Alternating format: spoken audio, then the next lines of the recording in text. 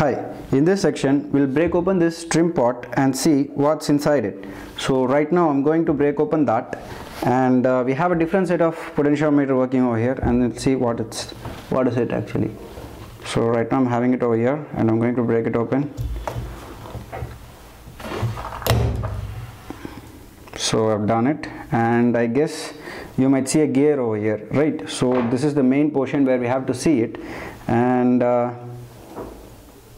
yeah we do have three terminals over here. We'll see it later. So a bolt over here and uh, which in turn turns this potentiometer. We'll use it we'll use a screwdriver and try to turn over it and we'll see what's happening in while we turn it. So this is what it is. And I'm going to turn it right now. So yes I got it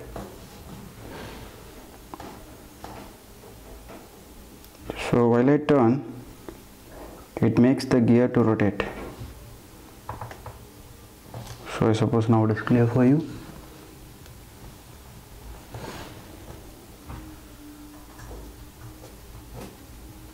I guess by breaking it has moved some portion. So fine. After that like before this is one more part of it. This is a current carrying conductor. And this gear moves on this current carrying uh, you can see those two terminals over here right? So these two portions.